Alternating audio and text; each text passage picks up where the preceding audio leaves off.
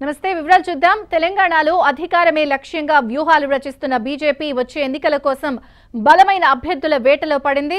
ఇందుకోసం కాంగ్రెస్లోని సీనియర్ నేతలపై ఫోకస్ పెట్టింది. కాంగ్రెస్ను బలహీనపరచడంతోనే తాము మరింత బలపడతామని భావిస్తోంది. ఇప్పుడు ఇదే ప్లాన్ అమలు చేయాలని కార్యాచరణకు తెరతీసింది. హస్తం పార్టీలో ప్రజాకర్షణ ఉన్న నేతలను సాధ్యమైనంత త్వరగా ఆకర్షించే పనిలో పడింది. ఒకటి రెండు నెలల్లో కాంగ్రెస్ నుంచి బీజేపీలోకి చేరికలు పెరుగుతాయని ఆ పార్టీ వర్గాలు చెబుతున్నాయి.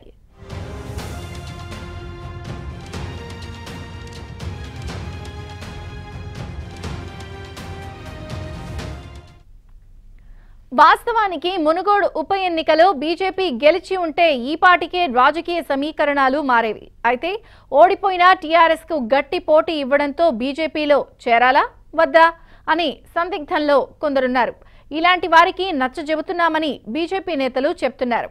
సీనియర్ నేత మర్రి శశిధర్ రెడ్డి చేరికతో కాంగ్రెస్ పై సైకలాజికల్గా ప్రభావం ఉంటుందని బీజేపీ అంచనా వేస్తోంది.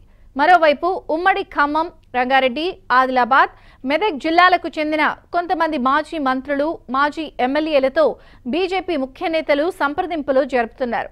వీరిలో ఎక్కువగా రెడ్డి సామాజిక వర్గం వారే ఉన్నారు.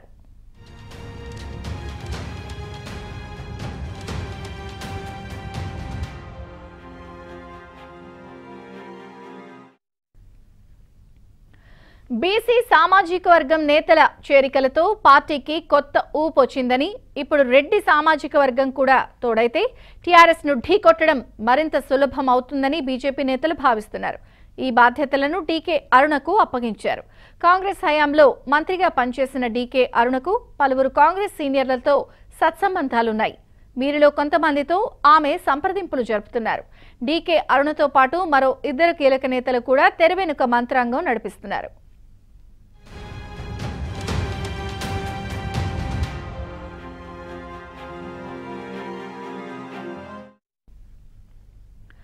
ప్రస్తుతం పది మంది కాంగ్రెస్ సీనియర్లతో సంప్రదింపులు జరుగుతున్నాయని వీరిలో కనీసం ఐదుగురు వచ్చే అవకాశం ఉందని బీజేపీ వర్గాలు చెబుతున్నాయి.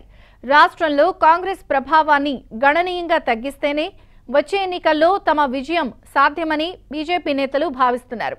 మునుగోడు ఉప ఎన్నికల ఓటింగ్ సరళితో ఇది స్పష్టమైంది అన్న అంచనాకొచ్చారు. దుబ్బాక హుజూరాబాద్ ఉప ఎన్నికల్లో కాంగ్రెస్ ఓటు బ్యాంకును గణనీయంగా తగ్గించడంతోనే విజయం సాధించగలిగామని మునుగోడులో అలా చేయలేకపోవడం తమ ఓటమికి కారణమని భావిస్తున్నారు. దాంతో కాంగ్రెస్ను బలహీనపరచాల్సిందిగా బీజేపీ అధిష్టానం నిర్దేశించినట్టు తెలుస్తోంది.